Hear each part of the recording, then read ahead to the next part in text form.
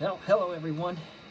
i80386SX, and today we're going to take you through getting this to work on a Compaq Concerto running Windows 95. So technically speaking, this would be the Windows for Pen Services 2.0. Although there wasn't really anything official from what I can gather with that. It's just a, a driver collection.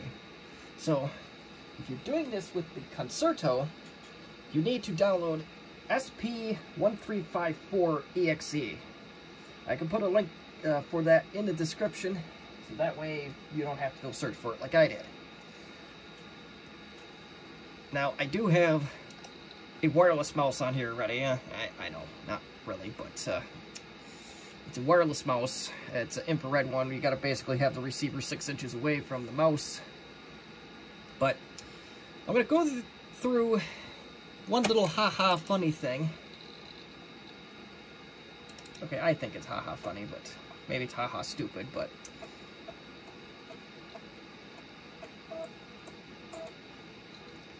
This is the floppy that spits out when you make SP1354. It's a Compaq, one of their SoftPaqs, that you got to create on a 32-bit system. Yeah, not, uh, not ideal, but, well, I didn't think about it at first, but didn't, uh, let's say Microsoft and Compaq didn't account for 64-bit operating systems, which, well, 1995, not going to. See, this readme dot first. Well, let's click on readme dot first. Uh-oh. What do we open this with? Well, it's just a, it's just a notepad. It, it's just a text document that just Compaq just decided to make it more complicated than it needed to be, so... So here we go. So here, tells you right now it's not supported by a Compaq pre-install or a Compaq upgrade for Windows 95. And, uh, yeah, Comp Compaq basically said, well, enough of you complain, so here you go. Uh, this, uh, what you see is what you get. We're doing this once. If you don't like it, too bad. And this basically gives you the instructions on how to install said software. Da -da. But anywho, let's go through it. We have our floppy installed. So you'll go to Control Panel, go to Add and Remove Programs. Then you want to hit up Windows Setup. This is I've only ever had to use this twice on two systems. This uh, have disk in Windows Setup. And I think the other one was the LTE 5000 to install its pack. But anywho, so you're going to install the manufacturer's disk, which we just uh, made, or I assume you just made. And then you get pen services.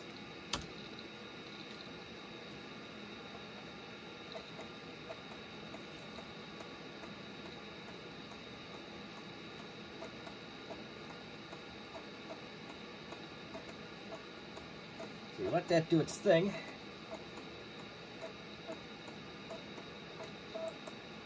But yes, this is technically Windows for Pen Computing 2.0. And uh, we'll thank this uh, this forum right here on vcfed.org uh, for this. The pen drivers were in the beta version of Windows 95. But anywho,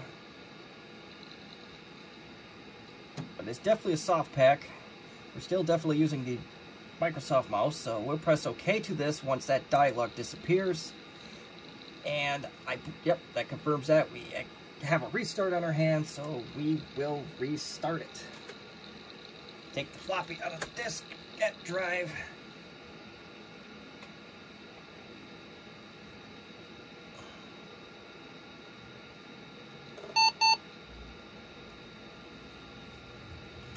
And we'll let this thing uh, do its bidding here.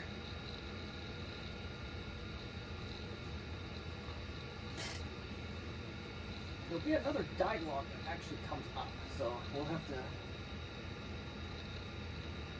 concern ourselves with that when it gets to that point.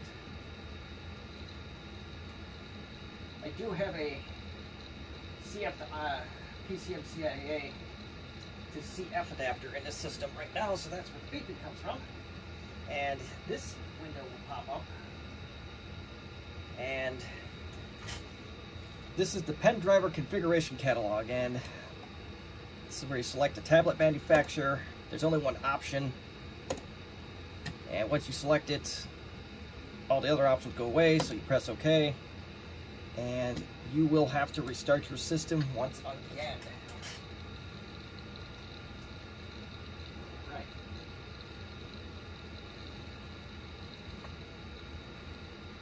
Again, not ideal, but this is what we had to do.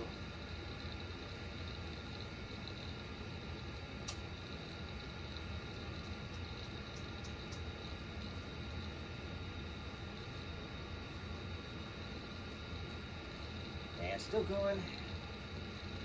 I will admit that I am on this multitasking part of our tour here. And we are still on the, the Microsoft mouse, but you notice some options came up. So now we have a pen option. Before we restart the system, let's see if we can do anything with it. And this will just generally tell you, you gotta select if you're left-handed or right-handed, menu style. And I didn't do anything with this, of course, so recognize handwriting after short pause, enable writing in, ooh, that could be, that could be fun. Yep, and if you go to pen options, that just selects what driver you want. Show cursor while writing. Ink width, ink width thin by default, and your color, which eh, doesn't really do much on a Concerto, but double tap on the grid. Well, we can't do that yet because we got to restart. So let's restart before we do anything else. We'll go to the pen services. You got the handwriting trainer, you have the on-screen keyboard, and you have a writing palette. So let's uh, restart and let's see what we can do with them. There's not a lot to the software itself, but it's uh, if you actually want to use the pen, that's what you got to do. So we'll wait for this to start up. I don't know if this will be any good with Windows 95B, the uh, OSR2, or later. I don't even know if you can get Windows 98 on this. Period. I don't know what the maximum memory is on this. I know I got one of these lurking with 8 megs of RAM somewhere.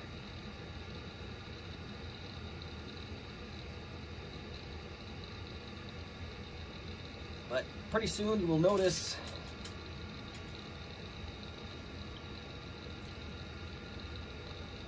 uh, we'll wait for this to stop loading before we move the mouse. So I am now moving the Microsoft mouse and absolutely nothing is happening. So that's working. And oop, hold on, pen services. Let's see what we can do here.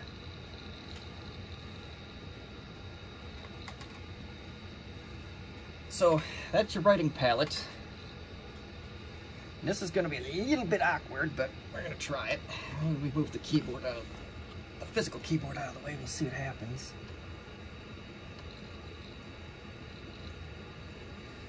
Eh, it doesn't exactly recognize anything, but...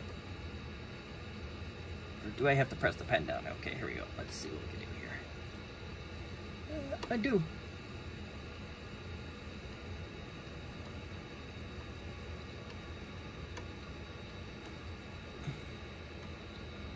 Okay. Well, detected the T. That's not good.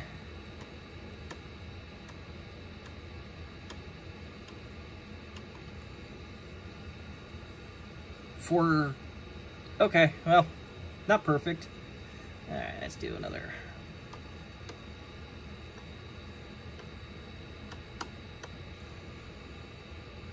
Got that right.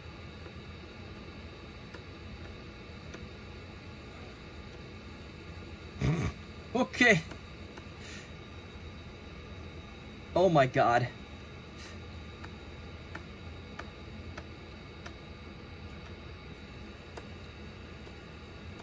Okay, if, if it gets that S, I'll be surprised. But there it is. That's supposed to be all hail Emperor Clavosaurus, but uh, apparently Compaq doesn't watch The Simpsons, so that's what we got there. So let's go back to Pen Services and let's see what handwriting trainer's all about. It started okay.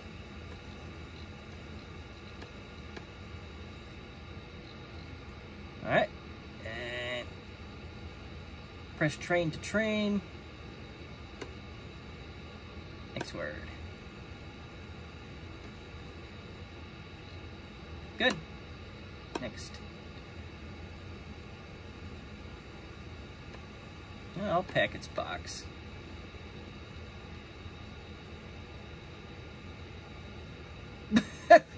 okay, okay, okay, that's enough of that. But yeah, uh, that's pretty much uh, try the on-screen keyboard once. And there's your on-screen keyboard. You don't have a word processor on here other than WordPad. So that's what we'll sit and chill with.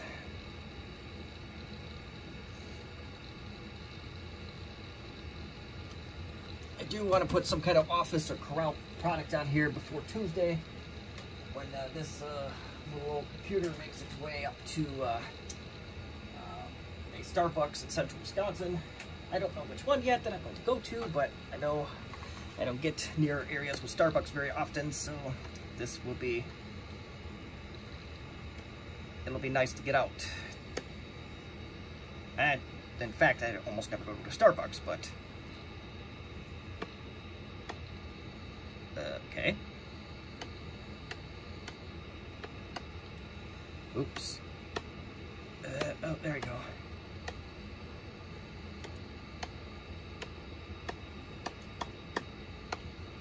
Well, I'll tell you what. It's not any worse than what I do with uh, with uh, texting on a modern day iPhone, so I have that going for me. But, but yeah, that is, in a nutshell, Windows Pen Computing 2.0. And anything else that has that capability will look very similar to that. So this is just what it happens to be for the Concerto. But anywho, once I get a word processor of some sorts on this system, it'll be ready for uh, typing documentation up in the Starbucks or whatever one I decide to choose and hopefully get some weird looks and go from there. But that's going to be it for now. Uh, if you have any questions or comments or constructive criticism, as always, you may put them in the comments section as you wish. If you didn't like this video, please like it. Uh, dislike it, uh, please press that dislike button twice. Once it doesn't approve a message, two sends a message. So, but uh, anyway, thank you for watching. Uh, have yourselves a good one.